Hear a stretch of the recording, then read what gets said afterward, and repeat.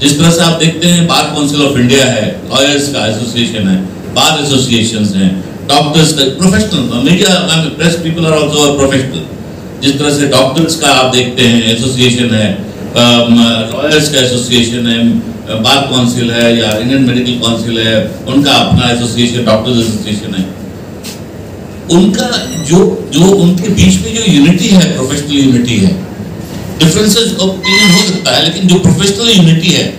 उस professional unity को मुझे लगता है कहीं ना कहीं मीडिया में ये लैकिंग है।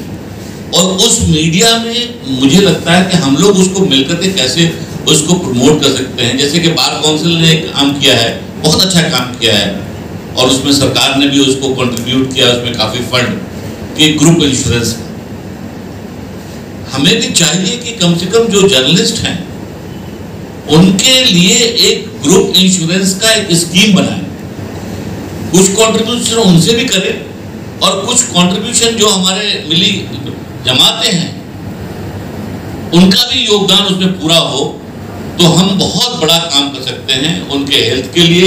उनके आगे आने वाले जनरेशन के लिए। ये ग्रुप इंश्योरेंस का बहुत आसान तरीके से हम इस चीज़ को फॉलो कर सकते हैं और उसमें बहुत सारे जो कंपनीज़ हैं जो नेशनल इंश्योरेंस कंपनी है या और भी कंपनीज़ हैं, उन लोगों का अपना स्कीम होता है ग्रुप उसमें बहुत कम प्रीमियम में, जो आप प्रीमियम इंडिविजुअल कराने जाएँगे अपने हेल्थ स्कीम के लिए और ग्रुप इंश्योरेंस के थ्रू जाएँगे तो सेम अमाउंट जो आपको रिइम्बर्समेंट का होगा, वो almost more less than fifty percent होता है। अगर हम मुशावरत, मैं कोशिश करूँगा कि अपनी मीटिंग में इस बात को रखूँ, ताकि हम एक चाहे तो कोई सब ग्रुप बनाए या कोई ट्रस्ट बनाए इसके लिए, या कुछ ऐसा कर सके, जिसमें हम कम से कम जो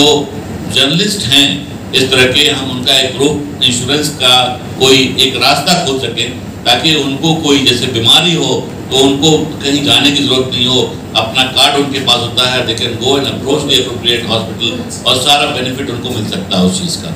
और उसके बाद भी in case of death in case of accident जब आप आप ग्रुप इंश्योरेंस से आप मेंबर होंगे, आपका इंश्योर्ड होगा पॉलिसी आपका तो you will get more benefit वो पचास हज़ार एक लाख की बात नहीं होगी, बल्कि वो ऐसा होगा कि आपकी फैमिली उससे सरवाइव कर सके। तो हम लोग उस पर सिंसियरली आप सब लोगों का सजेशन और हम लोग अगले मीटिंग में भी इसको डिस्कस करेंगे। मुशावरत में भी हम अपनी वर्किंग कमेटी में डिस्कस करेंगे कि हम लोग ये सिंसियर एफर्ट्स को कैसे, ये प्रॉब्लम्स को हम दूर कर सकें। और जब तक के आदमी जो कहते हैं कि फाइनेंशियली अगर इंडिपेंडेंट नहीं हो फाइनेंशियली स्ट्रांग नहीं हो तो अपनी बात मजबूती से भी नहीं रख सकता है और इंडिपेंडेंट भी नहीं हो सकता। है और उसमें यही होता है कि फिर वही जो आया, छापो, जो आया, वो छापो। तो इंडिपेंडेंट होने के लिए इकोनॉमिकली इंडिपेंडेंट होना बहुत ज़रूरी है। और उसके लिए आप जो सबसे बड़ा प्रॉब्लम होता है, वो आज के डेट में which is a very costly affair वो है हेल्थ और इसके लिए आदमी को हम लोगों को मुशावरत बिल्कुल करेगी और इन जो हमने भी बताया बताया कि हम लोग एक, उसकी बैठ करके करेंगे। उस दूसरी बात जो सजेशन आई है, और मैं उस पर आपके सजेशन आने से पहले, जब हमने चार्ज लिया दो अप्रैल को तो मैंने सबसे पहले कहा कि देखिए,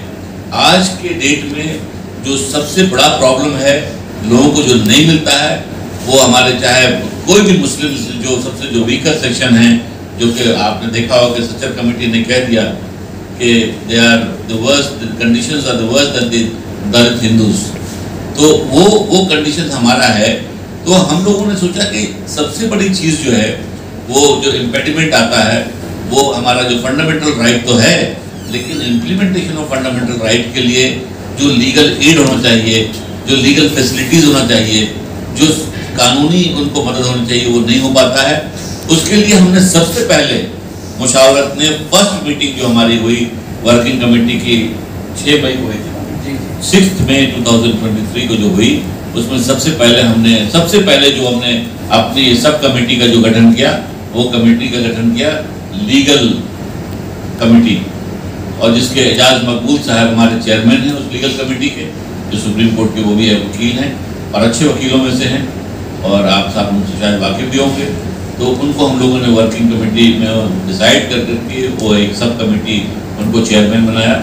और हम लोग उससे मसाइल से क्योंकि एक नई टीम आई है हम लोग वर्क कर रहे हैं। Takes time to take up and understand things हम उस पर काम कर रहे हैं चाहे वो लिंचिंग का प्रॉब्लम हो चाहे जर्नलिस्ट के, के लिए जहाँ प्रॉब्लम्स आती है जहाँ जर्नलिज्म में लोग रिपोर्टिंग में जाते हैं जहाँ फंस जाते हैं जहाँ उन पर केसेस होता है। हम उसको भी स्टडी करेंगे हम लोग उसको टेकअप करेंगे ग्रेजुअली ऐसा नहीं कि हम लोग जब हम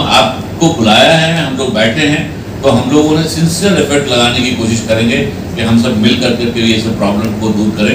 अभी मैं जैसा बताया आपको कि हम स्टेट में भी जो हम कमिटीज फॉर्म कर रहे हैं, वहाँ पे मैं कोशिश कर रहा हूँ अपने तरफ़ से कि वहाँ पे कोई ना कोई उस स्टेट का एमिनेंट लॉयर भी उस कमेटी में हो। जैसे हमने अभी कलकत्ता में किया, वहाँ खाजा यूसुफ साहब, जो हमारे, उनको हम लोगों ने जनरल सेक्रेटरी बनाया था जबकि उन्होंने अभी उसको रिजाइन करके हम दूसरे को बनाया रिजाइन इसलिए वो उन्होंने किया, वो एक प्रैक्टिकल डिफिकल्टी आ रही थी। फादर यूसुफ साहब के फादर वहाँ हाई कोर्ट के जस्टिस रह चुके हैं। बड़े इमिनेंट लॉयर हैं, अच्छे लॉयर हैं, उनसे बात करके हम लोगों ने बनाया था। लेकिन अभी सरकार ने उनको स्टैंडिंग काउंसिल बना दिया है। तो जब एज ए स्टैंडिंग काउंसिल आप गवर्नमेंट में हैं तो आप ऑर्गेनाइजेशन के, की तरफ़ से कुछ बोलेंगे, सरकार के खिलाफ तो थोड़ा था। लेकिन कमेटी में है, वो आमला में है वहाँ के। एंड एडवाइजर हैं is helping people he organising all legal aid committees तो अभी हम अभी दो केवल समझिए पंद्रह अगस्त को मैं था, मैं गुजरात में, अहमदाबाद में। अहमदाबाद में भी मैं काफ़ी काफ़ी लोगों से मिला और वहाँ मैंने अल्टीमेटली वहाँ पे अगर आप लोगों ने सुना होगा, ताहिर हकीम साहब का नाम। एडवोकेट ताहिर हकीम साहब से हमारी बड़ी देर, लगभग दो घंटा बात हुआ और हमने उनको कन्विंस किया कि आप मुशावरत में आइए, मुशावरत को आप मदद कीजिए। मुशावरत लोगों की मदद कर रही है, कोई हमारा इंडिविजुअल इंटरेस्ट इसमें नहीं है कि तो उन्होंने बिल्कुल एग्री हुए और कहे के मैं मुशावरत के साथ हूँ आप जहाँ भी रखेंगे, जो मुझसे काम होगा, मैं करूँगा मुशावरत के लिए। तो we are trying to get the best legal mind into the organisation और उस बेस्ट लीगल माइंड से जो हम लोग कर सकते हैं, इंशाल्लाह हम लोग उसको करेंगे। और आगे भी जितने ऑर्गेनाइजेशन स्टेट में होंगे स्टेट में भी हमारा लीगल एड कमेटी होगा, यहाँ भी लीगल एड कमेटी होगा। लेकिन आप जानते हैं हर ऑर्गेनाइजेशन के लिए एक, जो सबसे बड़ा होता है वो एक फाइनेंशियल डिफिकल्टी होती है। लेकिन इन जहाँ तक उम्मीद है कि हम लोग विल ओवरकम दैट और हम जर्नलिस्टों के लिए ख़ास तौर से बड़ी सिंसियर हैं कि हमारी रिपोर्ट छपे ना छपे उनका वेलफेयर का उनके लिए बहुत ज़रूरी है। तभी हमारी जो है आज के डेट में आप देखते हैं जो लोग कहते हैं मेन मीडिया मेन मीडिया तो बिल्कुल लॉप साइडेड हो गया है। उस मेन मीडिया में आप देखेंगे कि इतना लॉप साइडेड हो गया कि किसी कैपिटलिस्ट ने, कुछ कैपिटलिस्ट ने हैंडफुल ऑफ़ कैपिटलिस्ट ने जिसको बिल्कुल अपने कब्जे में कर लिया है, आपकी बातों को, आपकी ज़ुबान को, आपकी मसाइल को बिल्कुल कहीं भी दबा देते हैं, कहीं पता नहीं चलता है। और आप, जब आप सोचिए तो आप आप और बहुत सारे छोटे प्रेस हैं, मीडिया हैं, वो तो एक अलग, इतनी बड़ी मीडिया एनडीटीवी को जब उन लोगों ने बिल्कुल क्रश करके रख दिया है तो छोटे छोटे मीडिया को सरकार को दबाने में कोई बहुत बड़ी मुश्किल नहीं है। इसलिए उस लिहाज से भी हमारी लोगों को प्रेस में जो लोग हैं जो मुशावरत को भी ऐसे प्रेस रिपोर्टर्स और ऐसे लोगों की ज़रूरत है जहाँ टू वे कम्युनिकेशन कर सकें उनसे हमें सच्चाई पता चल सके और सच्चाई जब हमें मालूम होगा तो हम आगे वाले व्यक्ति को किस तरह से मदद कर सकते हैं उसके भी हम रास्ते निकालेंगे उस चीज़ को। तो ये एक हमारा मकसद यही है कि हम आ, मीडिया के थ्रू हमें मालूम भी हो मीडिया के थ्रू हम अपनी बात को रख भी सकें। और मीडिया के लिए मीडिया पर्सन के लिए हम क्या कर सकते हैं, ताकि वो अपनी बात को स्ट्रांगली और अपने रिपोर्टिंग को प्रॉपर वे में कर सकें। ये हमारा मुशावरत का बिल्कुल मोटो है, और इंशाल्लाह हम लोग इस पर काम करेंगे। एक इनिशिएटिव है हमारे रजवा साहब ने और तस्वीर साहब, जावेद साहब ने ये इनिशिएटिव के लिए हम लोगों ने बात किया था। और हम लोगों ने इनिशिएटिव लिया है, इसको हम लोग आगे बढ़ाएँगे। ये फ़र्स्ट मीटिंग है। आप लोगों का बहुत बहुत शुक्रिया। आप आए, आपके सजेशन को जावेद साहब ने अभी नोट भी किया है सबको, हम लोग उसको गौर करेंगे, हमारी वर्किंग कमेटी की नेक्स्ट मीटिंग जब आएगी, बहुत सारी चीज़ें हम उस पर डिस्कस करेंगे, क्योंकि जैसा कि बताया गया कि कुछ भी हम जब फाइनल काम करेंगे तो अप्रूवल आमला का होगा, तभी उस चीज़ को हम आगे बढ़ा पाएँगे। तो इंशाल्लाह हम लोग उसको रखेंगे and we are with very positive thinking with very optimistic thinking we are thinking that will go ahead इंशाल्लाह हम लोग कुछ कर पाएँगे। मीडिया पर्सन के लिए भी और अपने लिए भी और काम के लिए भी। बहुत बहुत शुक्रिया आप लोगों का।